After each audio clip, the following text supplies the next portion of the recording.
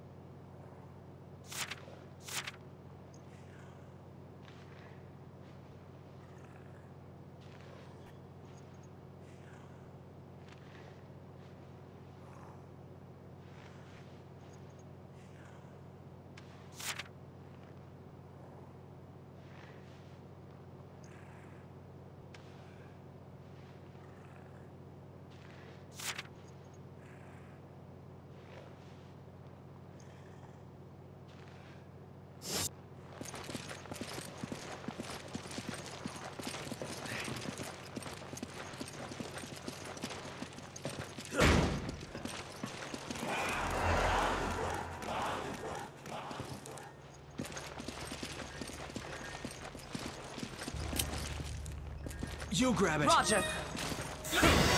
Thanks for the help.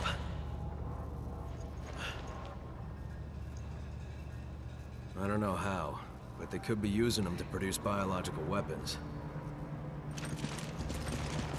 This is the facility from the picture, no doubt about it. We're finally getting somewhere.